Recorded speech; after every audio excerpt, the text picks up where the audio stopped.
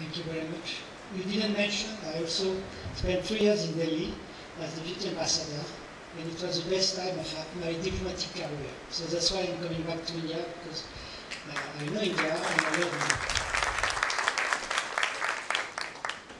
His Ex Excellency Shri Bhagat Singh Koshyari, dear Shri Manish Bhatnagar, President of the Chamber of Commerce, dear Renu Dear fellow Europeans, dear Indian friends, ladies and gentlemen.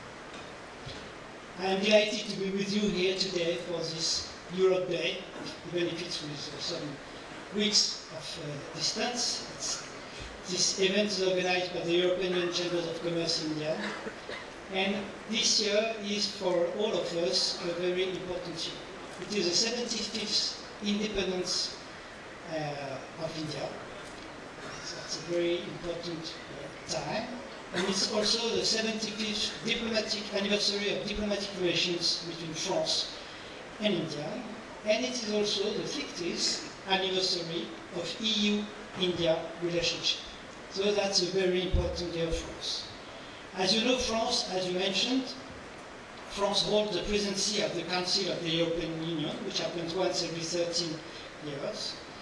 And it started from the 1st of January with the desire to move forward Europe as a global partner and a global actor in the world.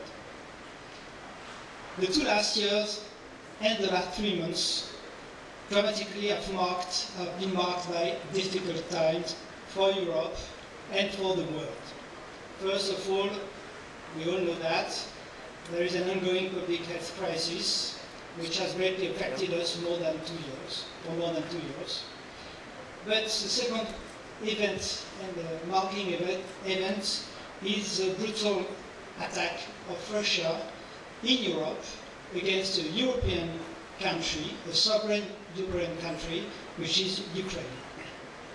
This attack was launched in violation of all the basic principles of international public law, notably the UN Charter and the rules of the Council of Europe.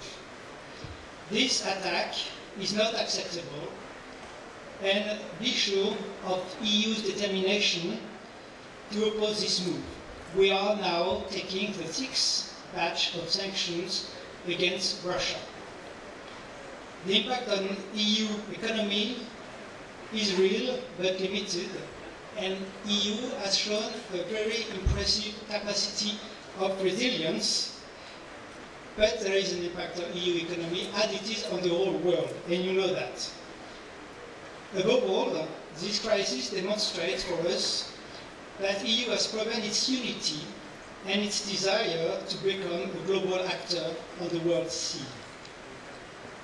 I would just like to remind you some figures um, that some of them are already recorded to us. EU remains one of India's largest trade partners, on third place. The EU remains the most attractive place for foreign investment. Uh, foreign investment in Europe recovered into in 2021 following a year in which COVID-19 caused investment in Europe drop by 13%. It's now back with an increase of plus 5%. A recent uh, Ernst Young survey uh, showed that business remain optimistic that Europe will retain status as the highest attractive long-term destination for foreign investment. In this, I just wanted to mention that France has been ranked for the third year on the first place of foreign investment in Europe. More broadly, France is the third host country for Indian investment project in Europe. And uh, we, we share the, the, top place with uh, uh, friends from Germany, from uh, Italy, and from Spain. I also would like to mention that we would be very happy to have more Indian companies investing in Europe.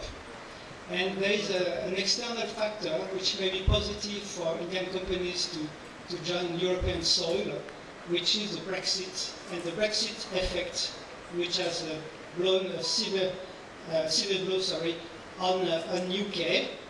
when they decided to uh, sever their ties with Europe. What does Brexit mean uh, concretely for an Indian company? It means that as far as trade is concerned, it's become more complex to export from UK to EU.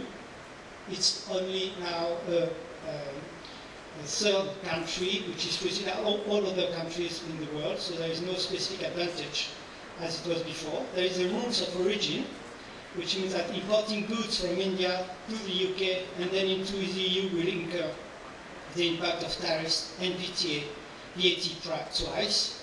So uh, if you want to be present on the European market, which is 450 million uh, consumers, uh, the best option is to be in Europe. And last, for services, it is the end of regulatory equivalence which means that it is no longer possible to distribute services to EU customers from the UK. So the best option to be present in Europe is to set up a company on EU territory. And what we observe is that it's a trend taken by many Indian companies, and we, EU member states globally, would be very happy to develop our links with India, with India in Europe.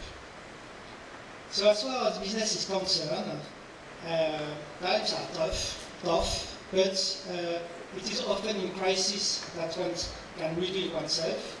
It is the case for Europe. We are on the path of asserting ourselves, but in our manner, which is an open manner, a peaceful manner, and a positive manner, which are exactly in accordance with Indian values. Thank you very much.